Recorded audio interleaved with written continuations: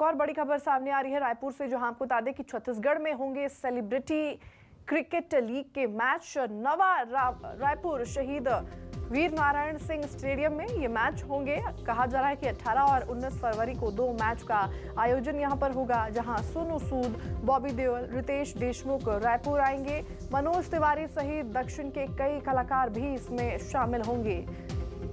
तो बड़ी खबर सामने आ रही है, बड़ी जानकारी सामने आ रही है।